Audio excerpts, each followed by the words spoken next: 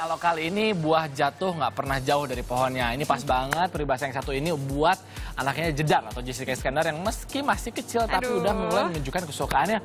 Hebat loh, kecil-kecil bisa bisnis kayak mamanya. Ya kan? Hebat banget ini Albarak ya, aduh Ya. ganteng banget. Aku suka ngeliatin Instagramnya dia. Kecil, masih Iya, kecil masih- ya. Oke. Nah sebagai seorang ibu nih yang punya banyak bisnis pasti seneng banget ya Jedar. Lalu sebenarnya gimana sih tanggapan dia terkait antusias Albarak ini dalam dunia Ini bisnis? saya agak bingung juga anak kecil udah bisa bisnis bisnis apa tapi kita Iya. lihat sama-sama deh. Bagi sebagian para orang tua yang telah sukses menjalani sebuah bisnis, tentunya mempunyai keinginan agar buah hatinya kelak juga akan mengikuti jejak orang tuanya, yaitu berbisnis. Untuk itu, mengajarkan bisnis sejak dini kepada anak tentunya akan sangat bermanfaat untuk bekal sang anak nantinya. Seperti salah satunya yang dilakukan oleh aktris cantik Jessica Iskandar, di mana ia mengajak putra tercintanya El Barak Alexander untuk mengenal dunia bisnis sejak kecil.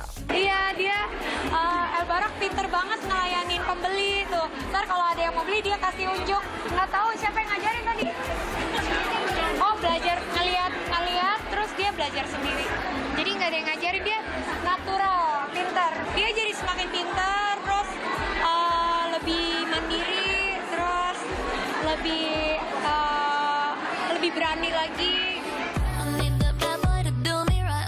Seperti diketahui, Jedar memang salah satu selebriti tanah air yang mempunyai banyak bisnis yang sedang ia jalani. Sebut saja bisnis clothing line, kosmetik, coffee shop, kue, hingga properti. Sebagai orang tua yang mempunyai jiwa bisnis, melihat L yang sangat antusias dan bersemangat ketika terjun langsung melayani para pembeli ketika diajak ke salah satu booth bisnis kue miliknya. Lalu apakah Jedar memang mempersiapkan L untuk menjadi seorang pebisnis? Iya, El, El mau jadi bisnismen ya kalau udah gede.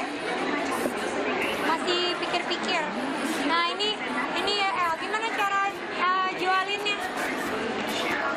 Egipto.